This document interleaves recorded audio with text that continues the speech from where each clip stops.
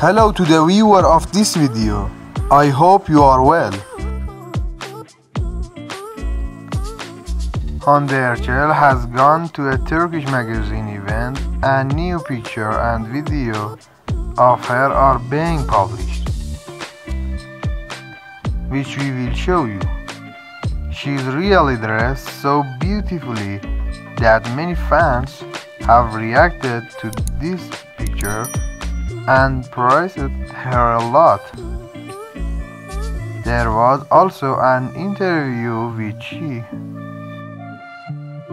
Thank you very much for watching the video so far and if you like this type of video be sure to like this video and subscribe to our channel to be informed about our next video.